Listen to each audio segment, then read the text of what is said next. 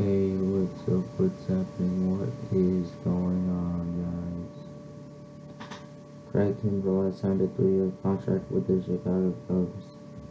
Kimbrel has a 1.91 career ERA and 333 career saves. Let me know in the comments below what you think about this.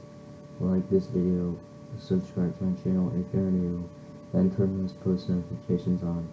This is Baseball Hockey God. Like always, I'm out. I'll see you next video. Peace.